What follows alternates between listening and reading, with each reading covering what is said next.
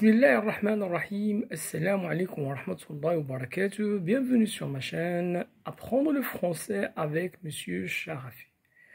Alors dans cette vidéo, on va découvrir un autre cas concernant voilà l'accord du participe passé des verbes pronominaux.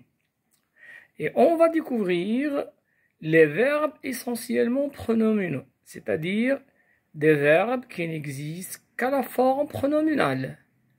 Alors pour ces verbes, voilà, on accorde toujours en genre et en nombre, c'est-à-dire il y a toujours accord, que ce soit pour le féminin masculin ou bien le singulier pluriel, c'est-à-dire en genre et en nombre.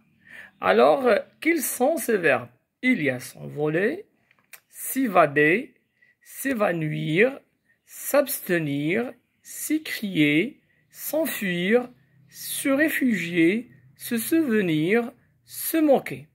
Et il y a d'autres verbes, voilà, qui sont appelés des verbes essentiellement pronominaux. Le participe passé de ces verbes s'accorde en genre et en nombre. À la prochaine vidéo.